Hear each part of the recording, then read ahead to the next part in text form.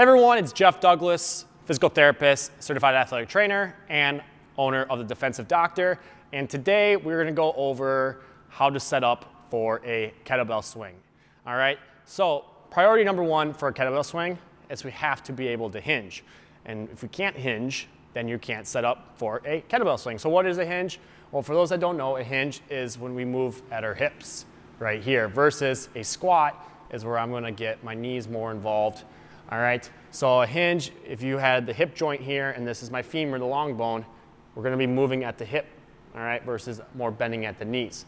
So if you wanna get into like a strong first definition of what a hinge is, when you set up, they're gonna say that your shoulders are above your hips and your hips are above the knee is the technical simple way of determining if it's a hinge or not.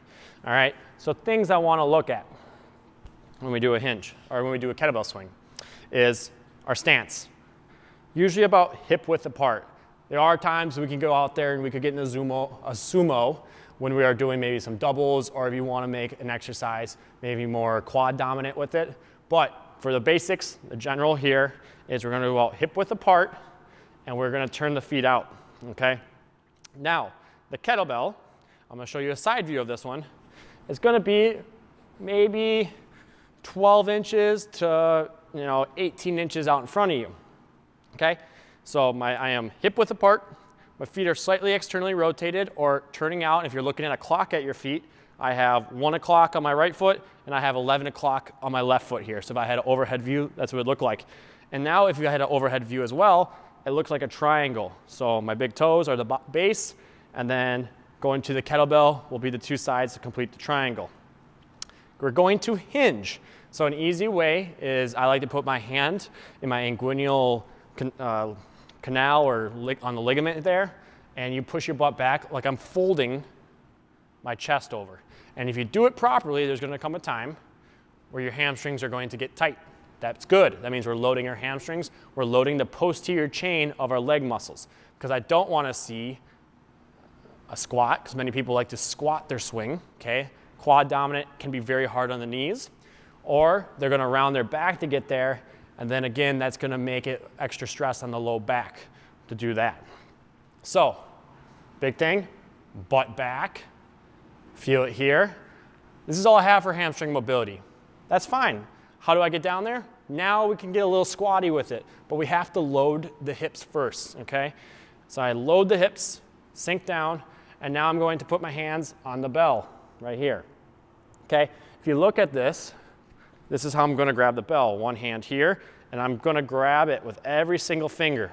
Okay, think about gripping it strong with every single finger.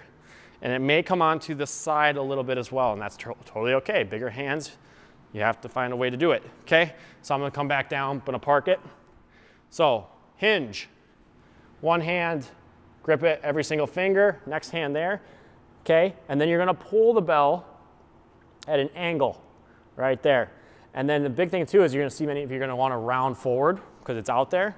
We're gonna retract, we're gonna bring the shoulders back. I like to say wide chest, okay?